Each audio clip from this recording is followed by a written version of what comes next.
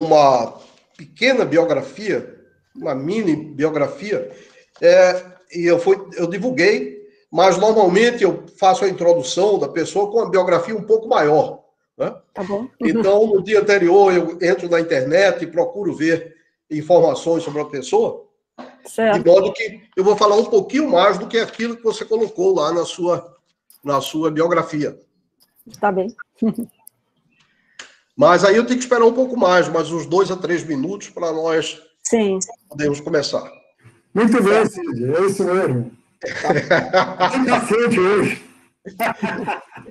Também, depois de tanto tempo, essa insistência aí que tem que dar tolerância, então. já temos 10 pessoas a mais do que na hora que você queria começar. Tá bom, tá bom. 53 agora. 43 para 53. Certo. Beleza. Vamos esperar.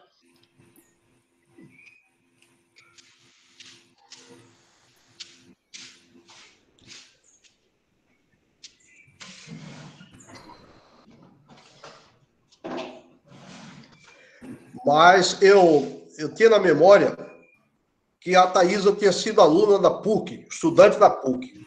Eu pensava, ela fez a graduação na PUC, mas não, aí eu descobri ontem que não. Mas ela, eu fiz o mestrado lá. É, fez o mestrado, exatamente. É.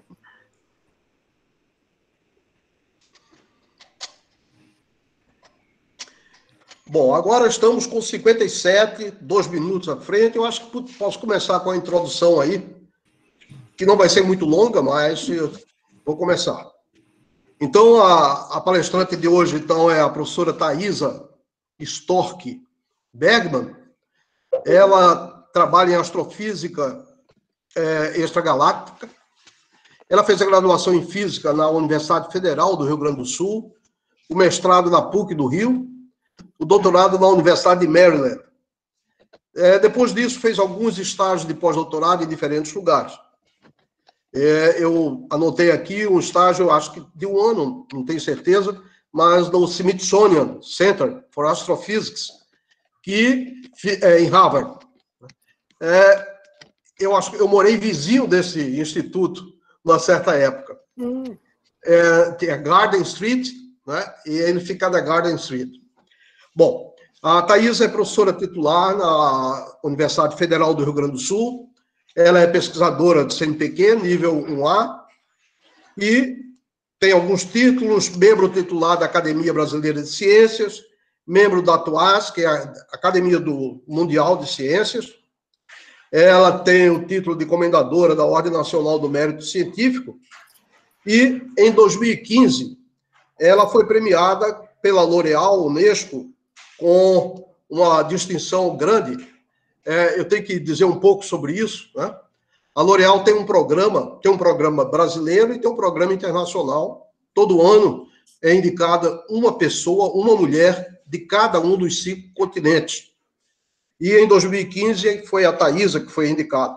Esse é um programa que existe já há muitos anos na L'Oréal, eles começaram em 1998. E recentemente foi criado, então, um programa brasileiro da L'Oréal, de modo que atualmente, além de indicação como esta que a Thaisa recebeu, existe também indicação para pesquisadoras mais recentes, mais jovens, mas com outra, outra, é, com outra ênfase. Bem, a, a Thaisa tem uma participação aí na é, União Internacional Astronômica.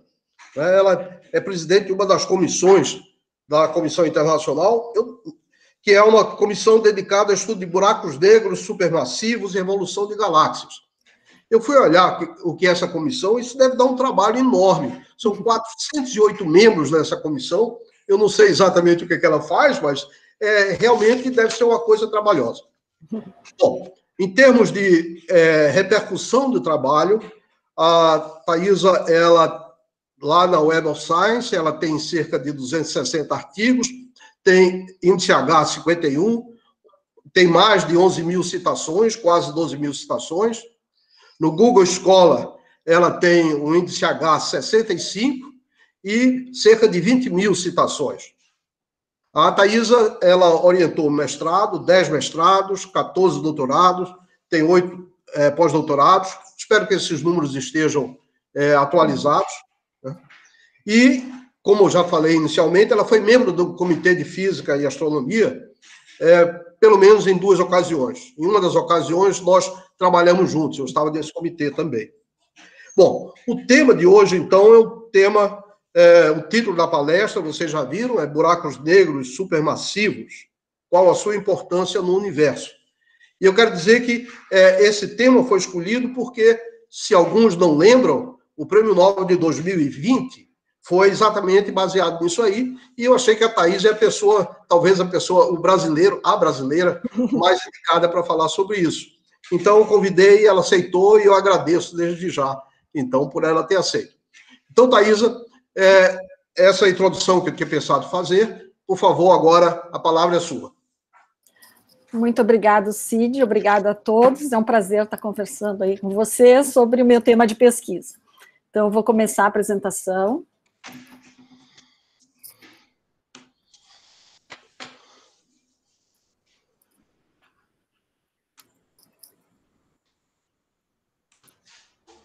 Então, é, o tema é, é, buracos negros supermassivos, qual a sua importância no universo? Né? Uh, então, um, gostaria de começar falando né, que a gente tem mais de 100 bilhões de galáxias no universo. A gente infere isso a partir de imagens, por exemplo, essa aí, que é o Hubble Ultra Deep Field, que o Hubble ficou apontando para uma região vazia, aparentemente vazia no espaço, por várias, vários dias, e uma região vazia mostrou que tinha milhares de galáxias. Como essa região é bem pequenininha, quando a gente extrapola, né, para todo o ângulo sólido do universo, a gente chega a essa estatística aí de mais de 100 bilhões de galáxias no universo. E cada uma delas, dessas 100 bilhões de galáxias, tem no seu centro um buraco negro supermassivo. Né? além das suas mais ou menos 100 bilhões de estrelas, o mesmo número de 100 bilhões. Então, uh, eu vou, nessa apresentação, então, falar primeiro o que é um buraco negro. A gente tem dois tipos principais, embora tenha os intermediários também, mas vou falar dos estelares e os supermassivos. Usar essa sigla, é Supermassive Black Hole, que é em inglês, né? Uh, falar de como que a gente observa e daí falar um pouco do meu trabalho, que na alimentação dos buracos negros supermassivos, depois vou falar da importância dos buracos negros supermassivos na evolução das galáxias, e, e de novo um outro trabalho, que é a retroalimentação uh, dos buracos negros supermassivos, falando um pouquinho de outras coisas, vou mencionar o Nobel também, uh, e a primeira imagem do horizonte de eventos do buraco negro. Então, de uma maneira bem simplificada, o que é um buraco negro, né? Então, uh, o buraco negro é, digamos, regido pela principal lei né, física do universo, que é a gravidade. Né? Então, na, na concepção de Newton, né, a gente tem uma força, a força gravitacional, que é proporcional à massa, ao produto das massas dos objetos, inversamente proporcional ao raio do objeto que está segurando a massinha m, né? Então aqui a gente tem uma representação, representação da Terra, né? Então a força gravitacional na Terra é o nosso peso que, que acontece se a gente aumenta a massa desse objeto, como a Terra, e diminui o raio? Né? A gente vai aumentando, aumentando a massa e vai diminuindo, diminuindo o raio. A força vai aumentando, aumentando, aumentando, e a pergunta é: onde é que vai parar? Justamente num buraco negro. E, e o buraco negro acontece quando a velocidade de escape de uma região, né, em que está toda a massa concentrada, é igual à velocidade da luz. E a gente pode calcular qual é, qual é o raio dessa região, que é o famoso raio de Schwarzschild, que fica igual a 2 gm sobre c ao quadrado, né? Onde m é a massa do objeto, g é a constante gravitacional e c é a velocidade da luz. Esse raciocínio já foi feito por John Mitchell e Laplace, que eram cientistas dos anos 1750 a 1800, e eles chamaram da estrela negra, né? Então, esse conceito não é novo, já tinha sido aventado. Na concepção einsteiniana, né, em que a gravidade é, é, é dada pela, é, da curvatura do espaço-tempo, né, uh, então, nessa concepção de Einstein, os objetos e a luz seguem trajetórias curvas de acordo com as equações de campo de Einstein, né, porque a gravidade, então, curva o espaço-tempo, uh, tendo uma massa e energia, a gente tem uh, que isso curva o espaço-tempo e a curvatura se relaciona com a massa-energia através da equação de campo de Einstein, que é essa aí. Uh, uma propriedade bem uh, característica dos buracos negros é o chamado horizonte de eventos. É, é, uma superfície imaginária, né, a partir do qual nada escapa. Então, é a superfície definida pelo raio de Schwarzschild. É uma superfície esférica, uh, imaginária, uh, e o raio, então, dele é dado por 2gm sobre ao quadrado. E, então, a gente vê que o raio de Schwarzschild, é, ele uh, é bem fácil de calcular, é só ter a massa do objeto, né, a gente tem o raio de Schwarzschild de um objeto. Então, por exemplo, a Terra se a gente quisesse transformar ela num buraco negro, teria que comprimi-la a 9 milímetros, uma esferinha de raio 9 milímetros. O Sol, por sua vez, teria que comprimi-lo a 3 quilômetros, lembrando que ele tem um raio de 700 mil quilômetros. E lá no centro da Via Láctea, a gente tem um buraco negro supermassivo, que a gente já sabe hoje em dia, que tem uma massa de 4 milhões de massas solares, então, proporcionalmente, a gente pode calcular qual é que é o raio de Schwarzschild, e isso dá 12 milhões de quilômetros. Então, o horizonte de eventos, uh, o raio do horizonte de eventos do buraco negro supermassivo da Via Láctea tem esses, esses 12 milhões de quilômetros, que é mais ou menos 10% da distância do Sol à Terra. Uh, então, agora aproveito já a falar do, do, Prêmio Nobel de 2020, né? Uh, uh, falando da teoria, né? Então, os buracos negros o, o, o, Roger Penrose, um dos ganhadores do Nobel né, de 2020, ele mostrou que buracos negros resultantes do colapso de estrelas realistas, né, ou seja, não perfeitamente esféricas, são soluções das equações de campo de Einstein.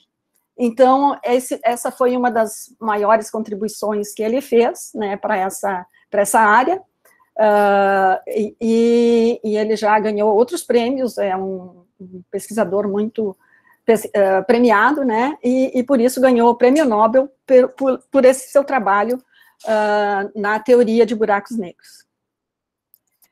Uh, mas eu, por exemplo, trabalho com observações. Então, vou focar agora nas observações. E como é que a gente estuda o universo, né? Um astrônomo, um astrofísico, que nem eu, uma astrofísica. A gente estuda o universo a partir da radiação que a gente observa emitida pelos astros, né? Uh, muito embora, eu tenho que fazer um parênteses, né, tenha hoje em dia um novo canal, que são as ondas gravitacionais, né, que foram, têm sido recentemente detectadas pelos uh, laboratórios ou, ou, observatórios de ondas gravitacionais, o LIGO e o Virgo, né? Mas, por enquanto, tanto o LIGO como o Virgo, eles não têm, eles não têm um, um intervalo de frequência necessária para detectar ondas gravitacionais de buracos negros supermassivos. Eles detectam somente é, colisões de estrelas de nêutrons e de buracos ne negros estelares, né?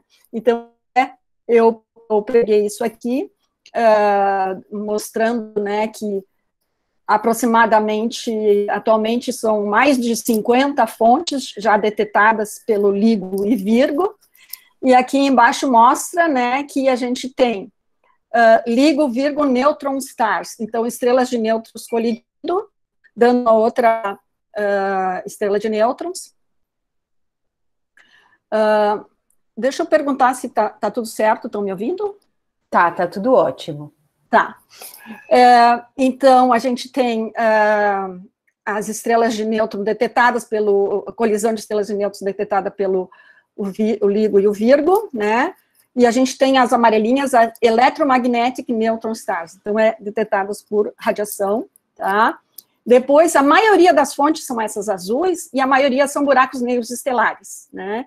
Então, a gente tem Electromagnetic Black Holes, e aqui no, no, eixo vertical é a massa, né? Então, uma massa solar, duas, cinco massas solares, dez massas solares, vinte. Então, hoje em dia, a gente tem que a maioria, né, do, dos buracos negros detectados pelo LIGO Virgo, né? É, quer dizer, a maioria das fontes são buracos negros, são essas azuis. Então, aqui mostra que a gente tem a colisão de dois buracos negros de relativamente alta massa, 20 massas solares, por exemplo, e vai dar um de 40 e poucos, né? Uh, então, a gente tem um, um recorde aqui que uh, uma colisão que deu um, bem grandão aqui de 160 massas solares. Então, a gente já tem essa nova janela né, de observação do universo, mas isso ainda só existe para os buracos negros estelares. Uh, então, para os buracos negros supermassivos, a gente tem que continuar com a radiação eletromagnética. Mas aí vem a pergunta, né? Os buracos negros não emitem radiação. Então, como que a gente observa eles? Né? Então, a ação é a gente observar a luz de objetos em órbita deles. Né? Então, a gente não observa o buraco negro direto, mas consegue observar uh, objetos em órbita. Uh, então, falar dos dois tipos principais agora, que é os buracos negros estelares. Uh, a gente hoje em dia conhece como é que as estrelas evoluem. E estrelas com massas, que se formam com massas mais do que 15 vezes a massa do Sol, elas acabam sua vida explodindo, né? Numa explosão de supernova, mas na verdade essa explosão uh, começa com uma queda das camadas externas sobre o caroço e produz uma implosão do caroço. Aí que se gera o, o, o buraco negro. Né? Uh, e daí a gente tem, então, como remanescentes dessas explosões, os buracos negros estelares. Então, a, a primeira observação de um buraco negro estelar, que hoje em dia já está, digamos, confirmado, né, não tem outra solução para ele, foi a fonte de raio-x chamada Signo X1. É uma estrelinha que tem uma imagem aqui uh, na região da constelação do Cisne, ela está aqui, a imagem dela uh, no ótico, é uma estrelinha azul que a gente enxerga, mas ela é uma fonte de raio-x que estrelas normais não emitem tanto raio-x, né? Uh, e à medida que se estudou essa fonte, se, se concluiu que é uma estrela azul gigante, mas ela, por espectroscopia, a gente observa que ela não está parada, ela está orbitando um ponto, um centro de massa fora da estrela, né? Uh, e essa massa, dá para a gente calcular pela órbita da estrela, tem 15 vezes a massa do Sol, né? E também a gente vê que se forma, né, ao redor uh, desse objeto, né, um disco, que a gente chama um disco de acreção, que na verdade é a massa capturada das camadas externas da estrela, que é muito grande, então a gravidade desse buraco negro na vizinhança da estrela ganha da gravidade da própria estrela e puxa as camadas externas, que tem, que, que tem um momento angular em relação ao buraco negro, e daí, por isso, forma um disco que a gente chama de disco de acreção.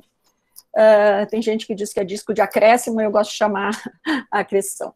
Então, esse disco, o gás vai espiralando em direção ao buraco negro e vai esquentando, uh, chega à temperatura de uh, cerca de 100 milhões de graus e emite em raio-x. E, além disso, também a gente vê emissão de jatos que são observados em ondas de rádio. Uh, então, essa foi a primeira observação, e a gente tem outros já conhecidos, só que uh, a gente só consegue ver o buraco negro se tiver uma estrutura assim, alguma coisa orbitando ele. E a estimativa, né, que a gente tem, embora a gente não tenha observado toda essa quantidade, que deva ter cerca de 100 milhões na Via Láctea, 100 milhões de buracos negros estelares na nossa própria galáxia, né, que é o fim da vida dessas estrelas massivas. Ok, agora vamos falar do, do buraco negro supermassivo, né, que, que são esses buracos negros supermassivos? Bom, eles têm massas que variam de 1 milhão a 1 bilhão de vezes a massa do Sol, né? Então, passamos de 15, que é o estelar, para 1 milhão, né, que é o supermassivo. Uh, hoje em dia se debate também uh, os buracos negros de massa intermediária, mas que eu não vou falar muito sobre eles, mas que parece existirem aglomerados de estrelas. Uh, e os mais massivos chegam a um bilhão de vezes a massa do Sol, tem alguns que até passam essa, essa massa, né? E eles estão no centro das galáxias. Né? Aqui a gente tem uma, um modelo, né, um, de um buraco negro com um disco de acreção. Então, essa, essa é uma imagem bem, uh, digamos, divulgada, né? Então, a gente está vendo o disco de perfil e a gente, então, enxerga uh, essa estrutura que parece um anel, né? Uh, mas na verdade é o disco aqui em cima é a parte de trás do disco de acreção que sofre efeito de lente gravitacional. Então a luz daquela parte de trás se curva, né? E a gente enxerga como se enxergasse a parte de trás do disco dobrada aqui para cima do buraco negro e a parte de baixo do disco dobrada para baixo. Né? Então, esse é o efeito de lente gravitacional uh, que, que sofre a luz ao passar né, na vizinhança do buraco negro pelo grande campo gravitacional. Uh, uh, eu até tentei colocar um vídeo aqui do YouTube, e até parece que vai, se eu colocar aqui. é, para mostrar também o, uma simulação, uma simulação disso aí. Olhando de diferentes orientações, se a gente pudesse circundar o buraco negro e o disco de acreção.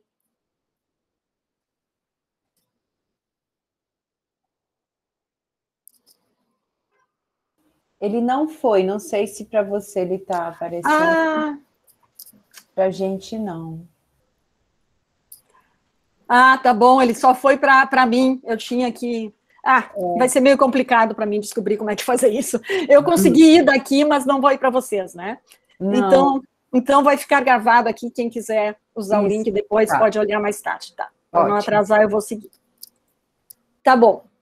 Uh, então a gente tem essas simulações, mas agora vamos de novo para as observações, né? Então, quais foram as primeiras observações, né, dos buracos negros supermassivos? Na verdade, os primeiros objetos que hoje em dia a gente sabe que tem um buraco negro supermassivo lá no centro, uh, responsável por uma grande quantidade de emissão de energia, são os quasares. Os quasares podem ser considerados os objetos mais luminosos do universo. Eles foram descobertos na década de 1950 uh, através de emissão em rádio. Eles, eles tinham uma, uma forte emissão em rádio. Quando se ia olhar no telescópio óptico, né, se via, parecia ser uma estrela, mas uma estrela não tem aquela emissão rádio, e daí ficou com esse nome, Quasi Stellar Radio Source, que é a quasar, né? E depois, com o tempo, se estudando a natureza deles, se descobriu que eles estavam a distâncias muito grandes, e quando a gente corrigia pela distância, né, a gente via que a luminosidade intrínseca deles era da ordem de mil vezes a, a luminosidade da, da, Via Láctea inteira, da nossa galáxia inteira, que tem mais de 100 milhões de estrelas. A partir de 1990, com o lançamento do telescópio espacial Hubble, a gente começou a definir que, na verdade, os quasares tinham uma nebulosidade ao redor deles, né, que aparece aqui nessa imagem. Uh, um pouquinho. O cursor não está se mexendo. Tá. Uh, então, aqui a gente tem a luz uh, do quasar, que em imagens eh, no solo só se via uma, uma estrelinha, que é essa parte mais brilhante. Com o telescópio espacial, que tem uma qualidade de imagem muito melhor, porque está acima da atmosfera, se conseguiu a ver que existia a galáxia ao redor.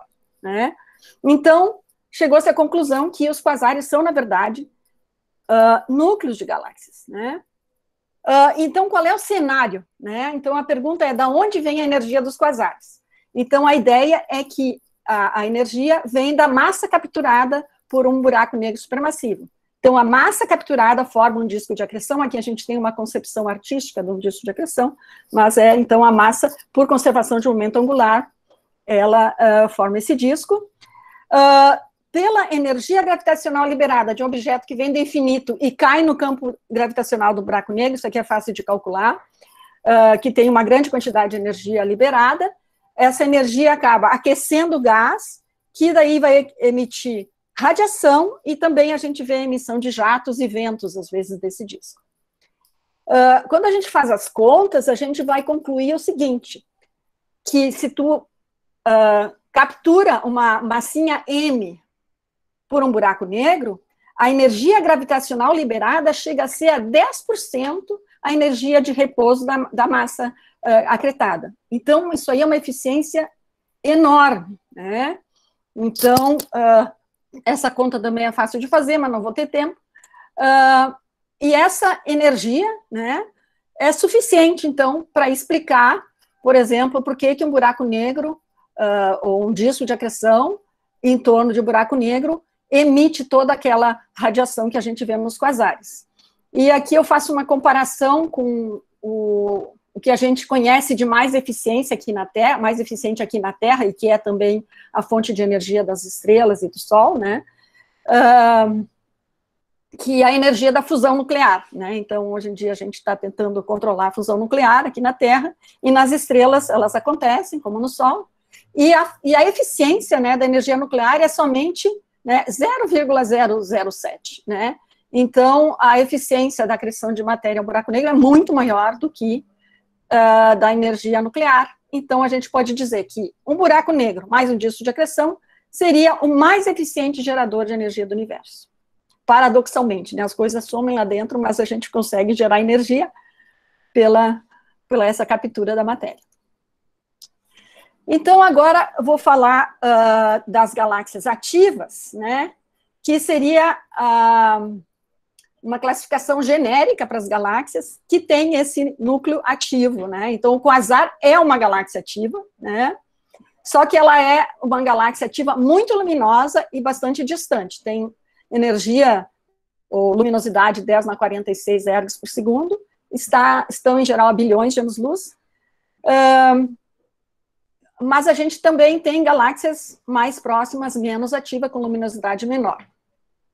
Uh, então, eu gostaria de dizer que, por exemplo, embora a gente saiba que a maioria das galáxias tem um buraco negro no centro, em cerca de 90% delas ele está inativo ou com baixíssima atividade, ou seja, porque não tem matéria sendo capturada a energia emitida nos quasares só acontece porque a gente tem captura de matéria. Então, a galáxia é ativada, vira uma galáxia ativa, quando o buraco negro supermassivo captura a matéria. Então, aqui tem um exemplo de uma galáxia ativa mais próxima, né, que a gente vê a galáxia, ela está somente 12 milhões de anos-luz de distância, que é a Centaurus A, que é uma fonte de rádio, mas emite também jatos de raio-x, que é essa luz aqui meia um, magenta aqui que está aparecendo, é uma galáxia uh, cujo buraco negro foi ativado porque ela é uma galáxia elíptica gigante e está engolindo uma galáxia espiral, e a gente vê aqui a, o disco da galáxia espiral. Então, essa é uma galáxia ativa próxima. Né? Uh, então, para a gente entender o meu trabalho, eu queria uh, mostrar para vocês um pouquinho, né, qual é que é o modelo que a gente tem de como é que se dá essa atividade nuclear, né, no centro das galáxias. Então, a gente tem lá o buraco negro, né? A gente tem um disco de acreção, então aqui está em, em, unidades logarítmicas, né? Uh, então, aqui é log de distância em parsec. Parsec é uma distância que a gente usa em astronomia, que é 3,26 anos-luz. Né? Então, o buraco negro, bem pequenininho aqui, né? 10 na menos 5 parsecs, o raio do horizonte de eventos dele, e depois, entre, uh, logo depois a gente tem um disco de acreção, que é aquele disco que é um disco de plasma de temperatura altíssima, então é um, uh, mais de 100 mil graus, né, e depois a temperatura vai baixando até o ponto em que a gente tem recombinação e começa a ter linhas de recombinação. Então, a gente tem nuvens de gás, que a gente chama região de linhas largas. Então, isso aí já está a 10, a 10 na menos 2 parsec, que é mais ou menos o raio da, da, da Broadline Region, que a gente chama região de linhas largas. Então, uh, essas nuvens, elas estão orbitando o buraco negro e elas emitem linhas de emissão que permitem que a gente faça um estudo da órbita delas, né? Então, eu queria mais falar dessa região aqui interna, né? E depois a gente tem nas galáxias mais próximas tem um toroide de poeira aqui, que não vai nem, nem vai dar para me falar muito sobre ele. Mas, uh, então, uma maneira da gente estudar o buraco negro supermassivo é estudar essa região aqui, bem próxima a ele, é ela que a gente chama região de linhas largas, que emitem linhas que, que, que indicam velocidade, quando a gente usa as linhas de emissão para determinar a velocidade do gás, indicam velocidade de 2 mil, mais de 2 mil quilômetros por segundo. Então, aqui Uh, uh, vou falar então, começar a falar do meu trabalho. Eu andei, eu trabalho com a Broadline Region e também com a Narrowline Region, tá? Então, começando com a Broadline Region, eu tenho trabalhado em monitoramento espectroscópico dessa região de linhas largas, que é a Broadline Region, em galáxias ativas. Então, atualmente, eu estou com uma colaboração que a gente está usando o telescópio espacial Hubble e também telescópios terrestres, o Gemini e outros, né? uh, medindo a partir dos perfis a geometria e a, a, perfis das linhas de emissão e a cinemática da Broadline Region para inferir a massa do buraco negro supermassivo. Então, eu quero só mostrar um exemplo de um trabalho que eu já realizei há um tempo atrás. Uh, na verdade, essa galáxia é a galáxia favorita minha, NGC 1097, é uma galáxia bem bonita, aqui tem a imagem dela, né? Uh, e aqui no centro, né, é, eu descobri sem querer, uh, observando é, essa galáxia, uma emissão aqui de um ponto não resolvido, né, que mostrou a presença de gás uh, andando a altíssima velocidade. Então, a gente enxergou justamente essas linhas, né, então, aqui eu mostro como é que é feita a observação, Uh, através do, aqui a gente usou fenda longa, espectrógrafo de fenda longa, mediam o espectro da região nuclear e dois espectros vizinhos, e esse é o espectro da região nuclear aqui em cima, né? Embaixo é o espectro vizinho. Essas linhas para baixo é, são as linhas de absorção, que é resultado da, do conjunto de estrelas que está lá no centro da galáxia. Superposta essas linhas de absorção, tem linhas de emissão, que são as para cima, né, que são emitidas pelo gás. Então, essas que a gente usa para obter a cinemática do gás. Então, aqui, uh, essa linha aqui, essas estreitas aqui, uh, são linhas que têm uma, uma largura estreita, significa que elas têm uma velocidade que vai de 100, 200, 300 km por segundo, uma velocidade orbital nesse sentido. Agora, quando eu medi isso aqui, isso aqui era uma linha, é essa linha estreita, uh, mas uma linha dela muito alargada, né?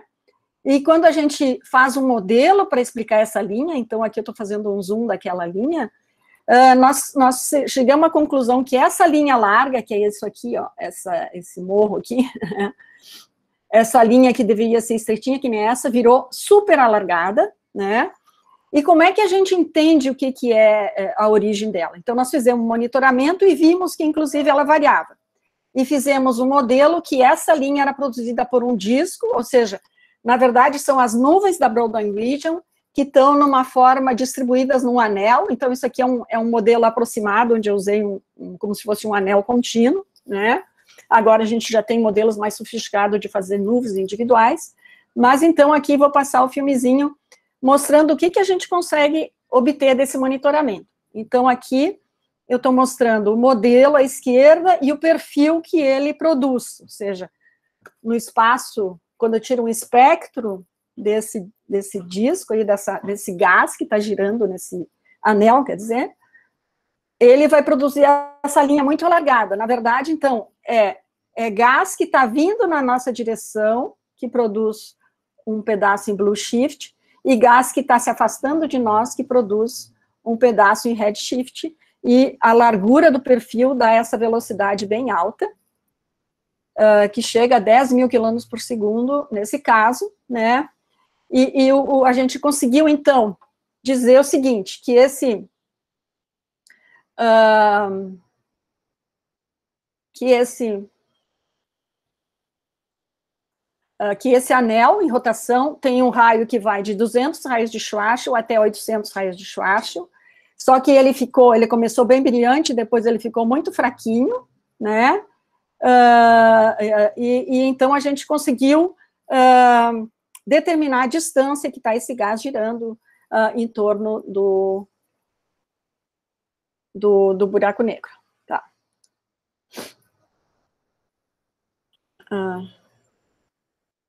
tudo certo aí? Estão me ouvindo? Estão acompanhando? Estamos, tá sim. Ah, então tá. Ok, então, não sei se ficou claro o, o que, eu, que eu fiz aí, né? Mas a partir de espectros, né, a gente consegue estudar uh, como é que o gás está distribuído, o, movimento dele, a geometria dele. E, e, esse trabalho foi feito, esse trabalho desse tipo tem sido feito nos nossos observatórios, que o Brasil tem acesso.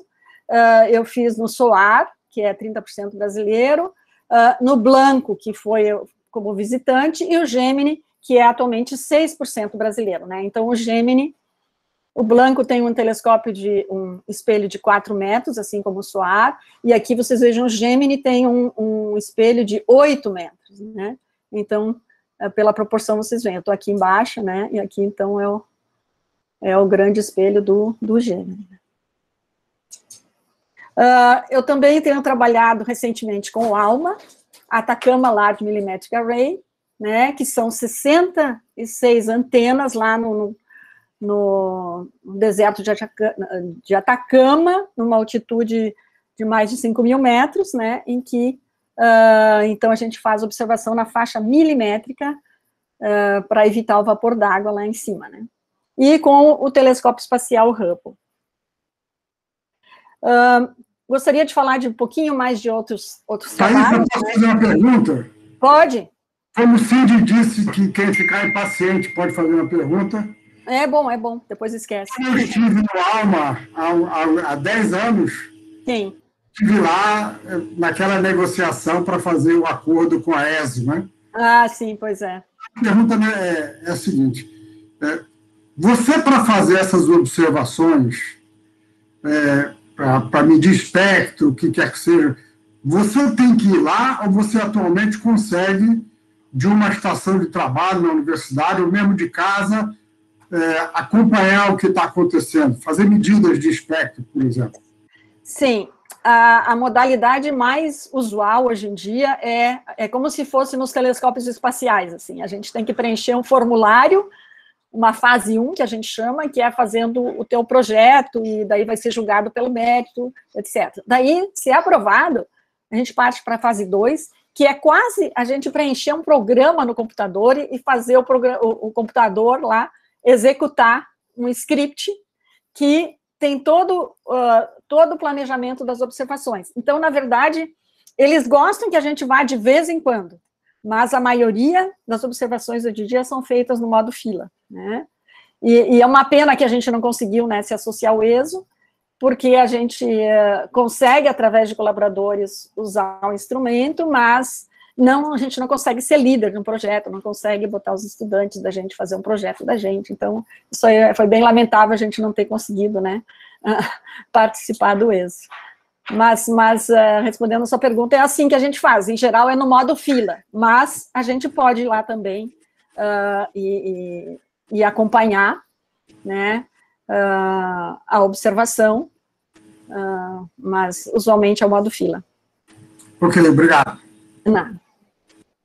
Tá, então aqui é meu grupo de pesquisa, já, isso aí é uma foto um pouquinho mais antiga, mas alguns já foram embora, outros chegaram, mas tem bastante gente aí que trabalhou bastante comigo aí, num projeto que a gente chama AGN-IFS, né, AGN-IFS, é, AGN, que é Active Galactic Nuclei, Integral Field Spectroscopy. Então, uh, um instrumento muito legal que eu comecei a usar com o Gemini é esses Integral Field uh, Units, né, que, que, é, é, que, que significa isso? Uh, vocês devem estar assim familiarizados o que, que é então uma imagem e o que, que é um espectro, né? Então, um espectro a gente vê como é que se comporta a emissão em função do comprimento de onda, né? Uh, e uma imagem, então, bidimensional. O, o, o que esses IFU fazem é juntar os dois, ou seja, a gente tem um, como se fosse um, um, cubo de dados, a gente chama, né? Então, a gente tem imagem, mas tem informação espectroscópica de cada ponto da imagem. E isso é maravilha, é uma maravilha para a gente estudar várias coisas, né? A gente, por exemplo, pode cortar esse cubo em diferentes comprimentos de onda e ver a imagem do objeto em diferentes comprimentos de onda. Ou eu quero só o espectro do núcleo, eu pego o espectro do núcleo. Então, uh, a gente tem, assim, é, é, aumentou muito mais o, número de informações que a gente tem de um objeto, né? E são ideais para fazer cinemática.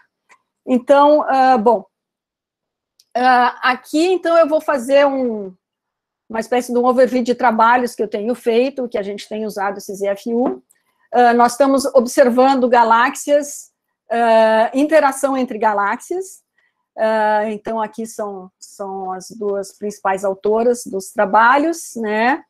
Então, a gente começou com imagens do Hubble, que são imagens que mostram o gás, e a gente uh, uh, pegou uma amostra de galáxias interactuantes e que, que tem uma emissão que a gente chama de mega maser de oxigênio, OH. Uh, e daí, uma hipótese de que essas colisões entre as galáxias estariam provocando a atividade nuclear. E então esses objetos ainda não eram conhecidos como galáxias ativas e a gente achou que pelo menos metade delas são. E cada vez a gente está vendo mais uh, galáxias ativas surgindo. Então, aparentemente, nós estamos pegando uh, a atividade em geral é baixinha. É, uh, essa hipótese de que realmente a gente está vendo o AGN sendo uh, despertando, né? Ou seja, a matéria está indo lá para alimentar o buraco negro.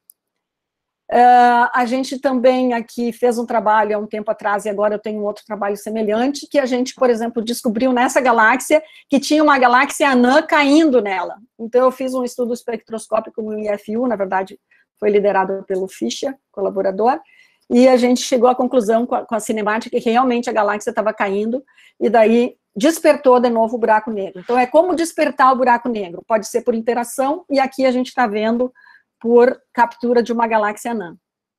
Uh, um outro trabalho que a gente está fazendo com esses IFUs, aqui é um exemplo, uh, bem na região central das galáxias, nós estamos conseguindo ver uh, movimento das estrelas, isso aqui significa redshift, blueshift, significa que a gente tem uma, um campo de rotação, isso aqui é o modelo que a gente faz, gasta, quer dizer, na verdade, estrelas aqui estão vindo na nossa direção aqui, que a gente representa em velocidades negativas, blue shift, e se afastando aqui.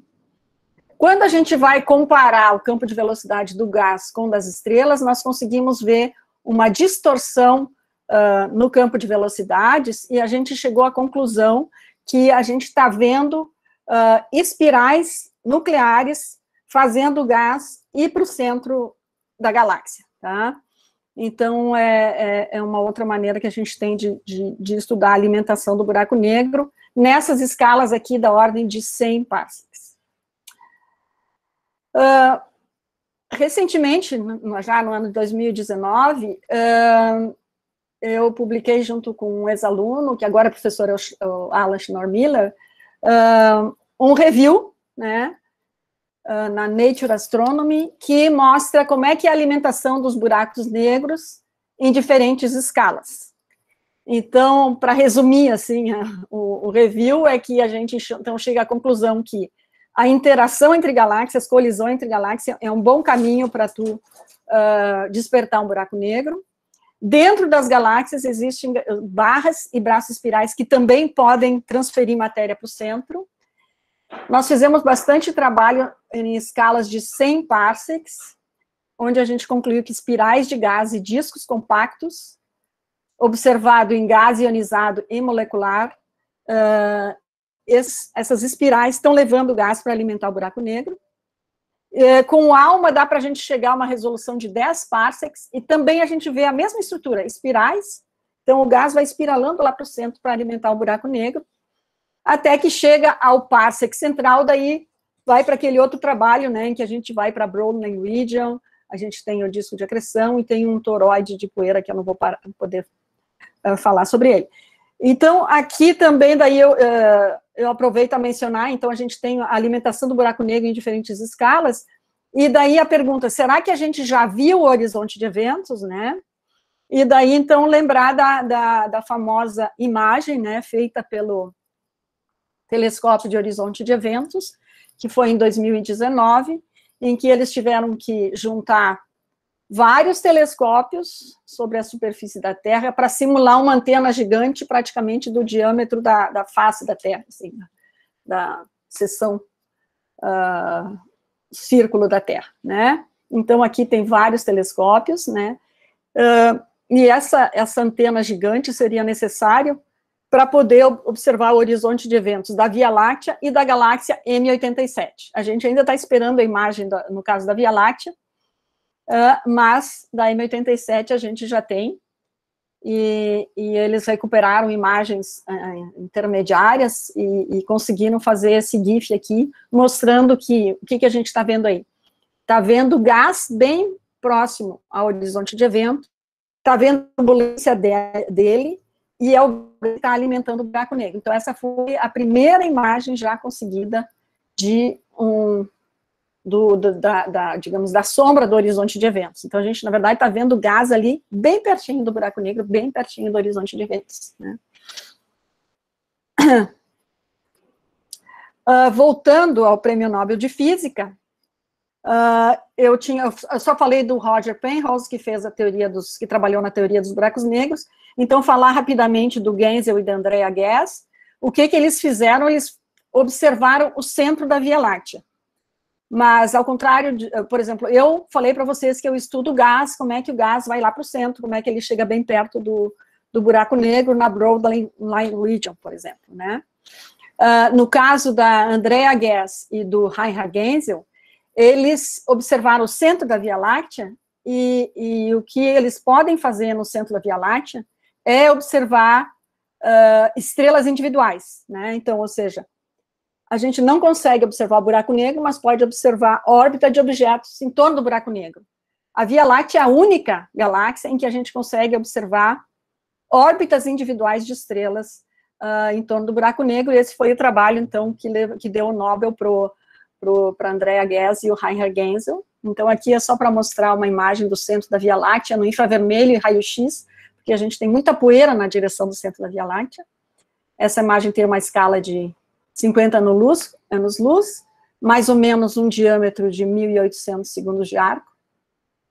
Se a gente faz um zoom in, para os 10 segundos de arco central, e depois para o 0,5 segundo de arco central, a gente enxerga as estrelinhas que eles acompanharam através da técnica de ótica datativa, que é para corrigir, é uma técnica que corrige as distorções produzidas pela atmosfera, né?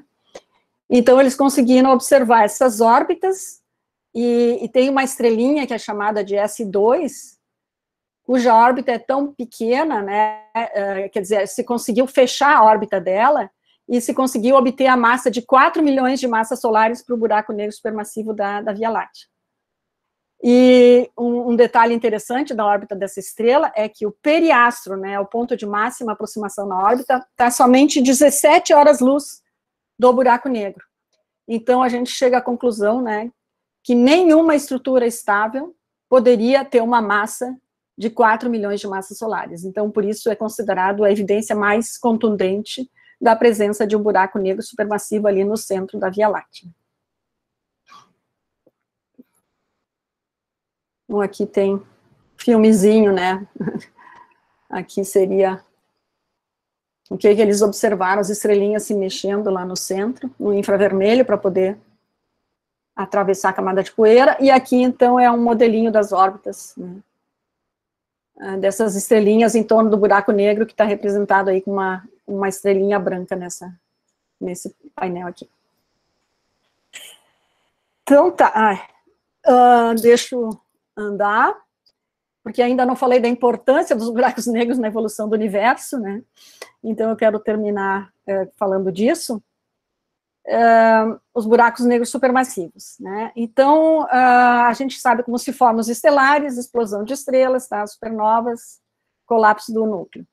Uh, e os supermassivos? Então, a gente vê que os quasares, que a gente sabe que tem um buraco negro supermassivo acretando matéria no centro, a gente vê que eles, uh, a gente observa eles lá longe, quase junto com as primeiras galáxias sendo formadas, né?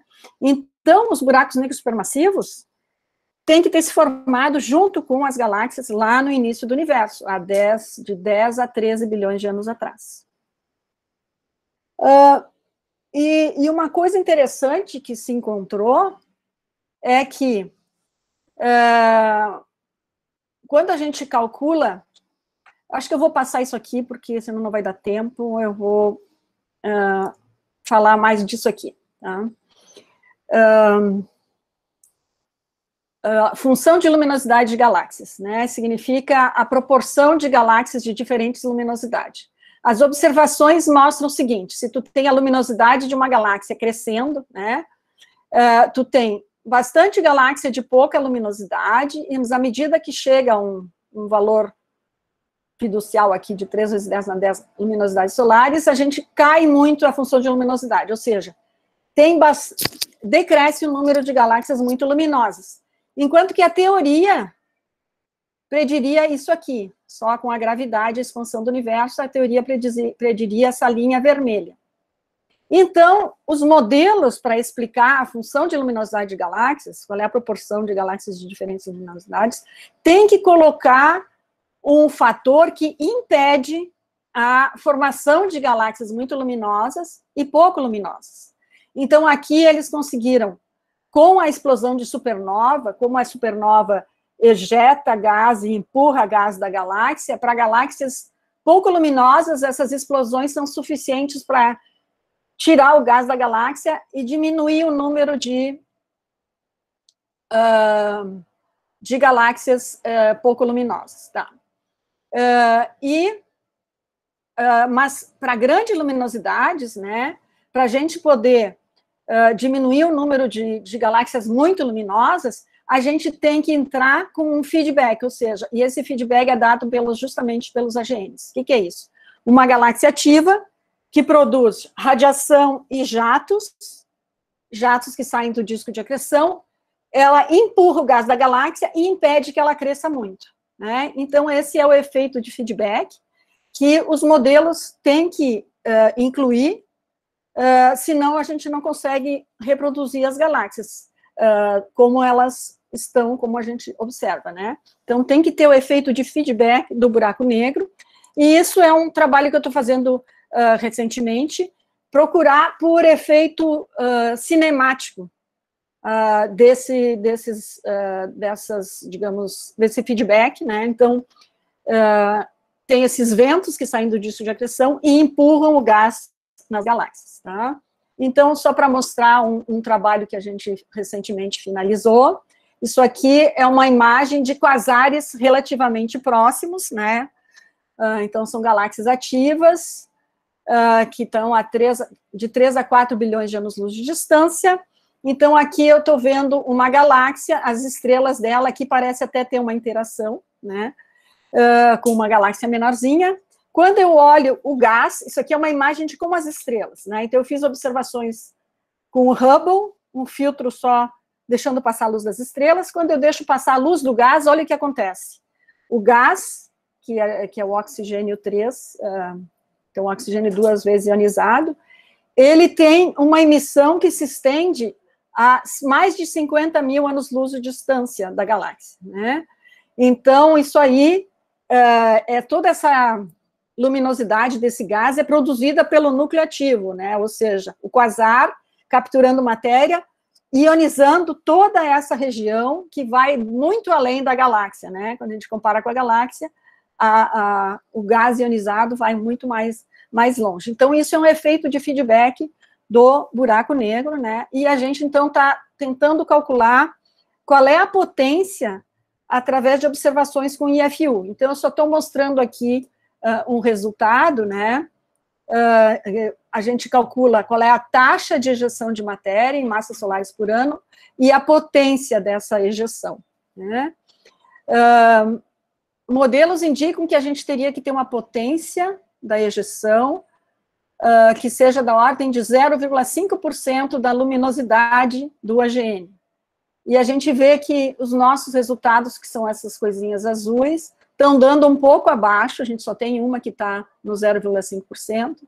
Outros trabalhos na literatura estão dando valores semelhantes ao que é necessário para ter um feedback efetivo, o nosso está dando um pouquinho para baixo, e galáxias próximas dão valores bem mais baixos, que são essas, esses pontos verdes. Então, é uma coisa que a gente ainda está pesquisando, agora fiz um pedido para o James Webb para estudar quasares mais distantes, ver se a gente consegue uh, medir essa potência desse feedback.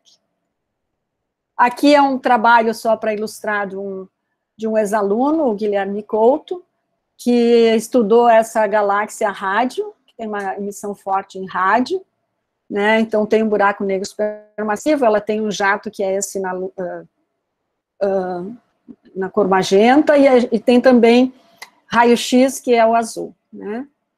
Então, aqui é uma fusão de galáxias também, uh, e tem essa emissão em raio-x, e a gente estudou a região bem central com aqueles instrumentos Integral Field Unit, e a gente concluiu que está tendo uma ejeção bipolar nessa direção, aqui o red shift, blue shift.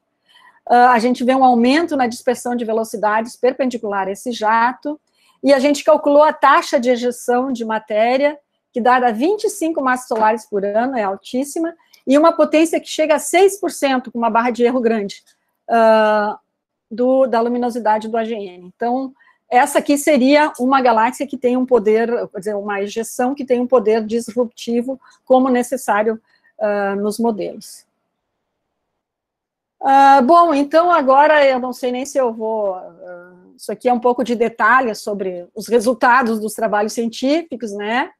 Mas uh, acho que até, eu até deixei em inglês, né? Então, falar rapidamente, né? Que eu, o resultado desses estudos, dessas ejeções, a gente tem uma geometria bipolar, velocidades que vão de 200 a 800 km por segundo, uh, taxas de ejeção até algumas massas solares por ano, e a potência do AGN é menor, a potência do outflow é menor do que o necessário para ter efeito na galáxia, para a maioria das galáxias. Tem algumas poucas, só um terço tem um efeito poderoso.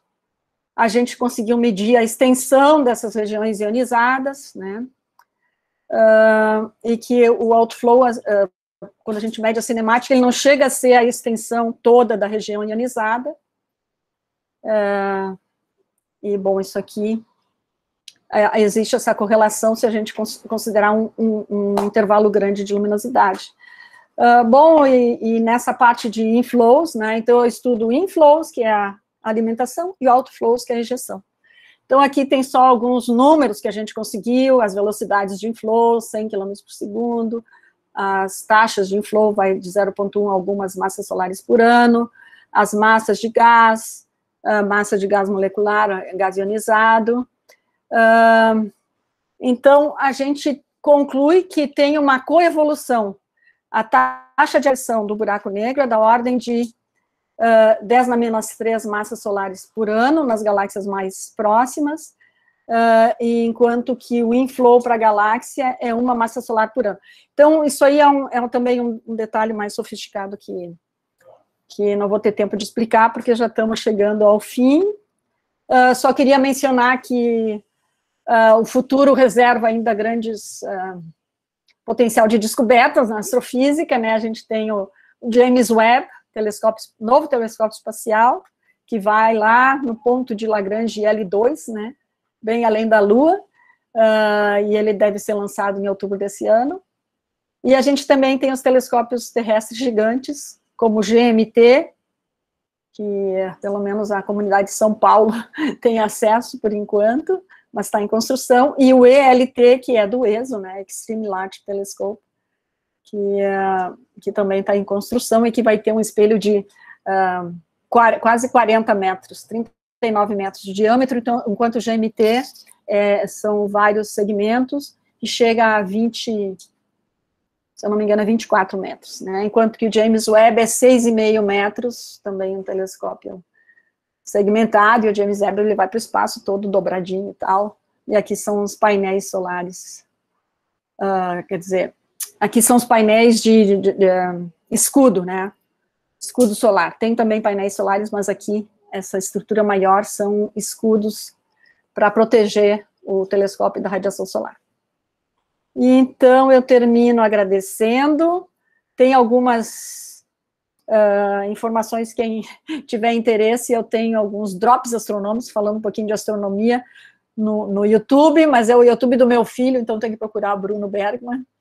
Eu tenho uma homepage, tenho Facebook, um Instagram e um Twitter.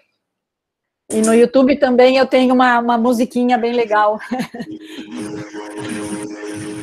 que eu fiz uh, um congresso que eu, que eu organizei e ficou bem bacana. Se alguém tiver interesse, dá uma olhada. Tá? Fica aqui para vocês também. E é isso. Obrigada. Ok, muito obrigado, Thaisa. É, proponho que abram microfones para aplaudir, agradecendo a palestra.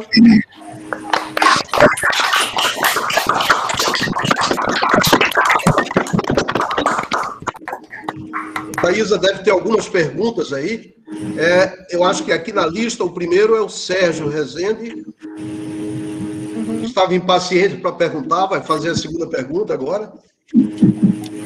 Ah, vocês estão vendo a minha tela ainda? Eu estou me atrapalhando aqui. Sim, sim. sim tá.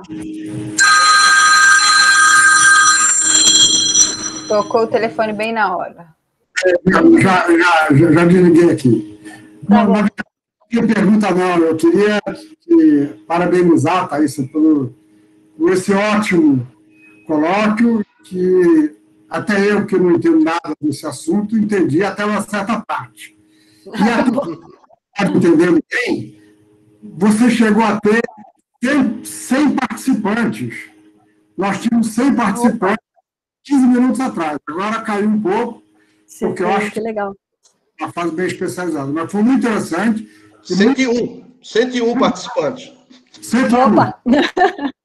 Muito bom ver que você está trabalhando usando telescópios aí de primeira linha, de todo mundo, do ALMA, e fazendo, uhum. fazendo teoria para entender observações experimentais. Parabéns, Thalisa. Muito obrigada. Uh, mais alguma pergunta? É o Bruno que tem uma pergunta. Ah, eu também me inscrevi, tá? Ah, tá bom. Vai, vai. Ah, vai, Bruno. É o Bruno. Tá, é, Thaisa, muito obrigado pelo colóquio, foi ótimo. É, eu, como sou teórico, deixa eu perguntar a parte pra, que me cabe.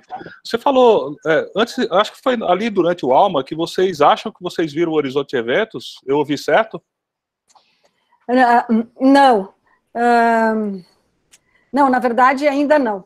Uh, quer dizer, o único uh, observação do horizonte de eventos foi com o uh, Event Horizon Telescope. Né? Certo. Então, acho que eu quis falar muita coisa junta. Então, -huh. o Event Horizon Telescope é uma associação de vários observatórios. O ALMA é um deles, né? Mas tem -huh. também observatório nos Estados Unidos, na Europa, no Polo Sul, e, e, então eles usam todas as antenas observando junto para simular uma antena gigante do tamanho da Terra. Porque para enxergar o horizonte de eventos é o equivalente a enxergar uma laranja na Lua. Então, uhum.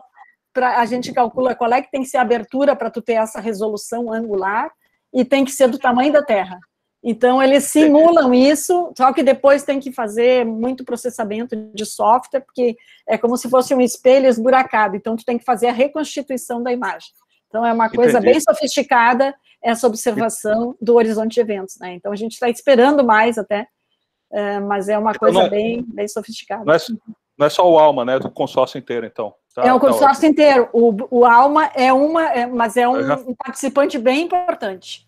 Até então, tem umas simulações, é, se não tivesse o Alma, uh, daí quase que não daria para enxergar o anel que eles, que eles viram. Né? Tá. Bem, estamos esperando aí os, os, os, resultados do buraco negro, nosso buraco negro Sagitário asterisco, é. para a gente, a gente testar a relatividade geral. É. Então, isso é a parte importante. É, Olha, é, eu, agradeço muito. Deixa, deixa eu, eu, eu dar uma provocação aí para o Cid, Sim. que o, o mecanismo para essa eficiência toda, transferência de matéria e energia, Cid, é emissão estimulada. É, essa era a pergunta que eu quero fazer para a Thaisa. Mas eu vou é. Então, é essencialmente, hum. é essencialmente um laser do tamanho do sistema solar. É. Uhum. Tá bom. Obrigado de novo, Thaisa. Imagina, Ótimo coloque. Prazer. Obrigada. É. Acho que agora é, é a Nádia que tem perguntas. Eu fiquei em dúvida na, no, primeiro trabalho que você mostrou, seu, o da rosquinha, anel, não sei. Sim. Aí tem uns picos meio, uns grandes no meio. Aquilo é algum Sim. efeito de interferência? Eu não entendi direito. Porque a simulação ah. que você mostra, mostra bem os, os as, tipo, os laterais, né? Mas aqueles do meio. Então, uh, justamente, então, aquelas linhas fininhas, né? São linhas de emissão, e quando a gente vê a largura no espaço de velocidades, a gente transforma né, o delta lambda em delta V, né? Então, no espaço de velocidades, aquelas linhas mostram que aquilo ali vem de um gás que tem um distúrbio, uma dispersão de velocidade da ordem de 100 a 300 km por segundo. E isso uhum. é esperado para um gás que, por exemplo, está no potencial de uma galáxia, está no potencial gravitacional, ele está orbitando ali. Tu espera essas linhas estreitas, que a gente chama, que é o reflexo dele estar naquele, naquele potencial. Mas quando a gente vê uma linha bem larga, com largura de 10 mil quilômetros por segundo, a gente tem que ter alguma coisa, e depois ainda com esses dois picos, assim, que é aquela forma, é bem característica de um disco em rotação, um anel, na verdade, em rotação. Uhum, então, uhum. a gente conseguiu ver qual é que seria a inclinação do anel, o raio interno, o raio externo. Então, uh, quando a gente vê esses perfis muito largos, ele vem, ela, eles vêm dessa região que a gente chama Broadline Region, que é logo depois do, do disco de acreção. O disco de acreção não emite linhas, então a gente não uhum. pode fazer cinemática. Para a gente estudar o movimento do gás, precisa linha de emissão, né? Uhum. Então, no disco de acreção, a gente só vê um contínuo. É, é a maioria é radiação free-free, e depois, para fora, à medida que a temperatura cai, começa a recombinar, começa os elétrons a se combinar com os átomos de hidrogênio, e daí a gente tem as linhas de recombinação, emite hum. H-alfa, H-gama, H-delta, e vai, e vai indo uma cascata ali, né, descendo uhum. os níveis de energia, e tu vê essas emissões.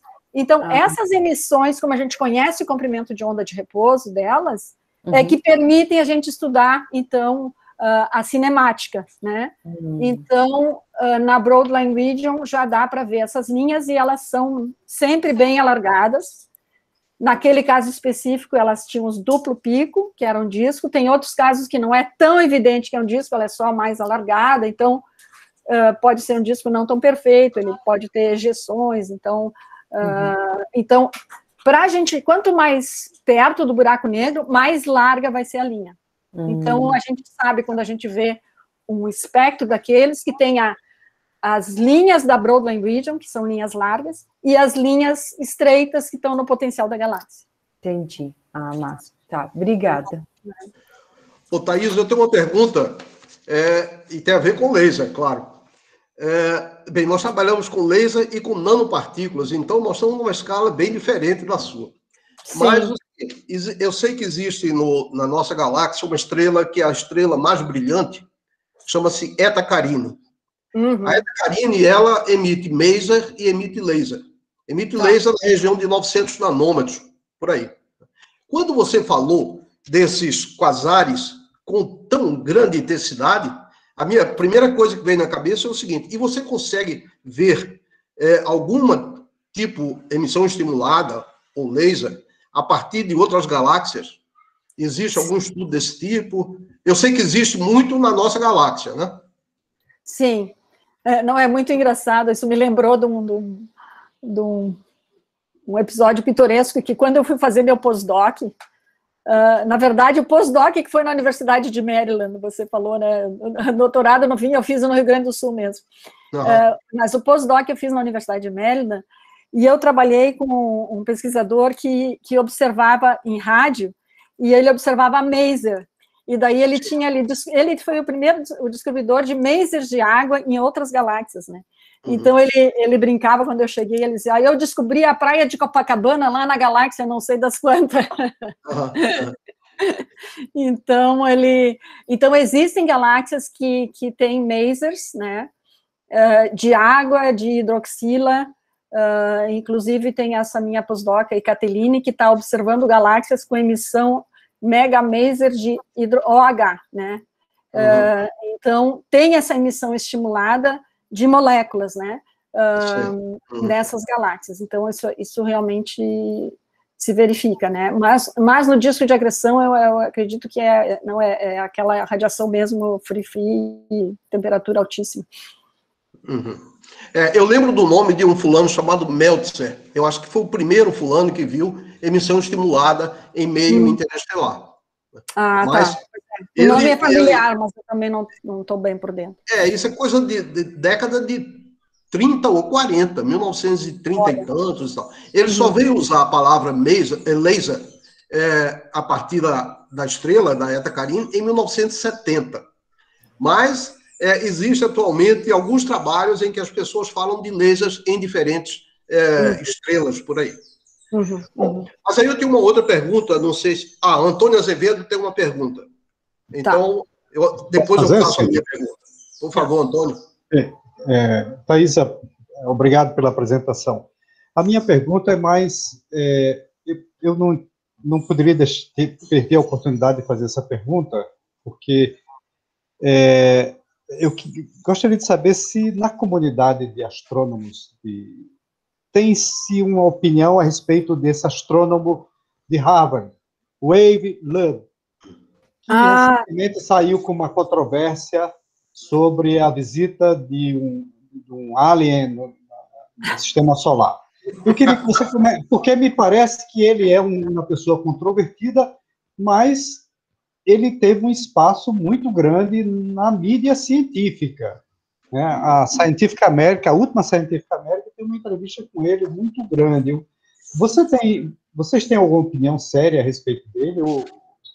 Me desculpa perguntar é. isso, mas eu não podia perder a oportunidade de perguntar uma pessoa da área.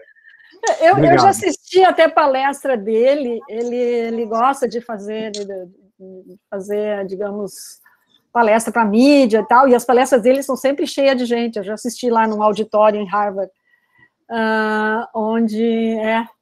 Uh, e, e, e, eu, e eu acho que ele tem umas opiniões meio controversas, eu não sei se ele acredita mesmo ou se ele está ah, só para fazendo é, fazendo médio, digamos também. assim. Eu acho que ele só quer chamar a atenção da mídia, sabe? Eu não sei se ele acredita, porque ele é considerado um físico de boa qualidade, assim, de, de, de boa é. formação. é, ele, ele é bem respeitado, né? Eu fui e... checar o Google Escola dele e notei que era uma pessoa respeitada. E veio, é, como ele veio sim. com essa ideia extremamente revolucionária. De que, é, ele é meio, ele tem esse lado meio malucão, assim. é, eu, é, eu também não, assim, achei ele bem controverso, assim, porque eu assisti, um, assisti palestras dele muito boas, assim, mas daí também vi umas coisas malucas que ele andou dizendo. Assim.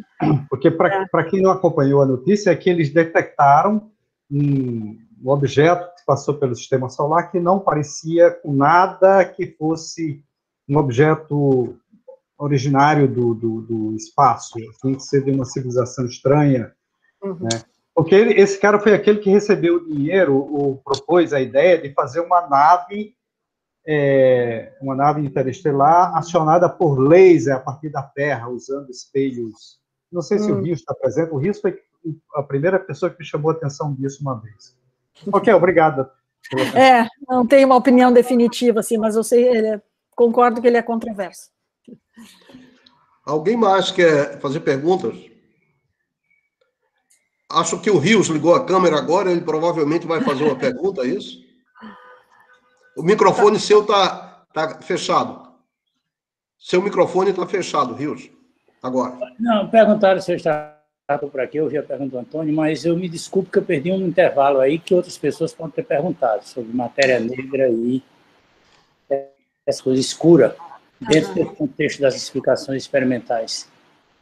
Se matéria é, pois é, é, a relação dos buracos negros com a matéria escura, assim, para mim, eu não, eu não, não, não saberia te dizer, é, porque são duas coisas diferentes, né?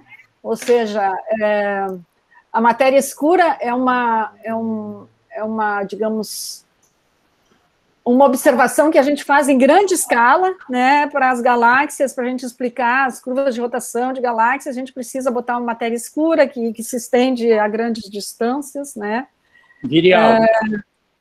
É, é, é para poder explicar, por exemplo, o movimento das estrelas, orbital das estrelas numa galáxia, né? Então, elas andam na beirada das galáxias bem mais rapidamente do que a gente esperaria se a matéria fosse só matéria visível, né? Então, existe essa evidência, né? Agora, em escalas dos buracos negros, é, eu, eu não, é, não, não aparece isso muito nas pesquisas que a gente faz, sabe?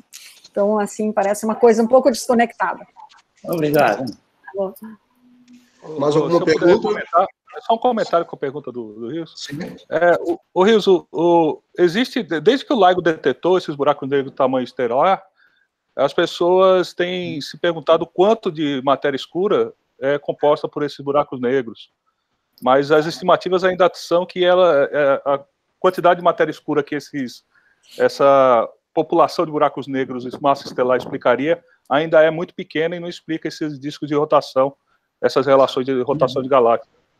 Ah, tá. É, eu não tinha entendido a pergunta, tá. tá. Ah, se a é, matéria escura poderia ser buracos negros. Tá. Se teria implicação conectada. Ah, exatamente. tá. Sim. Mas, e, e, eu sei também no experimento que foi feito um tempo atrás, assim, vários anos atrás, que era o experimento Macho, que era procurar por efeitos de lentes gravitacionais Uh, se tivesse bastante buraco negro para explicar a quantidade de matéria escura necessária no halo da Via Láctea, assim, porque se, se estima que ele esteja distribuído assim a vários raios da, se estendendo a vários raios da Via Láctea. Uh, então, e a gente olharia as nuvens de Magalhães, as estrelas das nuvens de Magalhães, e de, deveria detectar efeitos de lente gravitacional, amplificação uh, de imagem de estrelas nas nuvens de Magalhães, porque deveria frequentemente passar um buraco negro na frente, se fosse em número suficiente para explicar a quantidade de matéria escura que a gente precisa. E, e isso foi negativo. Assim, eles encontraram alguns eventos, mas muito poucos, né, ah, para poder explicar a matéria escura. Tem mais alguma pergunta? É, eu tenho uma pergunta que é uma curiosidade. Há muitos anos atrás, eu escutei palestras feitas pelo Pacheco, eu uhum. não sei onde é que ele anda atualmente, não sei se ainda na trabalha. França. É, na França, em Nice, né? É, também do Steiner, em que eles destacavam a importância da instrumentação ótica para se fazer astronomia. Atualmente ainda tem muito espaço para fazer instrumentação ótica em laboratório, é, considerando que existem todos esses telescópios grandes, etc. É, eu acho que é algo que falta ainda para o Brasil, né? Porque a gente até está participando do GMT e o Laboratório Nacional de Astrofísica uh, formou um pessoal lá, que uma, uma das pesquisadoras, ela fe, uh, montou uma firma de fibra ótica, e, e o GMT está usando... Uh, ah, desculpe, me, me atrapalhei, não é o GMT, é um instrumento do Subaru. Subaru é um telescópio dos japoneses, e tem um instrumento que é Prime Focus Spectrograph, e que ele é todo com fibra ótica é, para pegar os espectros. É, e uma firma brasileira, que é um spin-off do, do, laboratório lá da, da, da, pesquisadora que fez pesquisa em instrumentação no LNA, uh, fez essa firma, né? Então tem muita interação ainda com o Laboratório Nacional de Astrofísica, e, e eu diria assim, no Brasil ainda é um pouco incipiente, uh, mas deveria ser estimulado, e lá fora é muito forte isso. Uh, vários, assim, todos, todos os grupos de astrofísica nas, nas universidades têm, a, a, grande maioria tem uma, um departamento, um grupo experimental forte, né? Uhum, ah, uhum. Uh, instrumental forte, né? Então eles, ah, eu sou encarregado de tal instrumento, eu sou encarregado de tal instrumento, então uh, eles estão sempre envolvidos nisso, né? E eu acho que é uma coisa que falta ainda para o Brasil, embora tenha, que nem eu te falei, um, um, um instrumento bem importante que está sendo feito com participação brasileira é, justamente a gente vai poder usar o instrumento porque os brasileiros estão fazendo a parte de fibra ótica.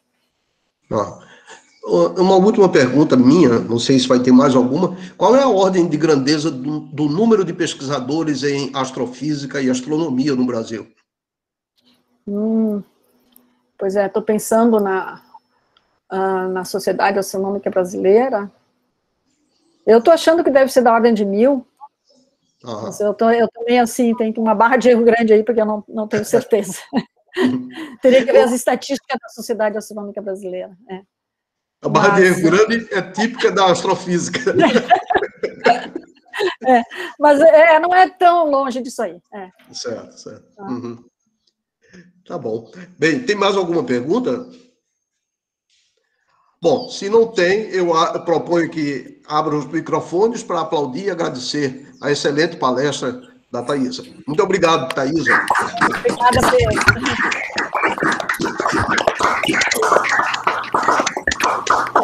Bom, então, ficamos por aqui.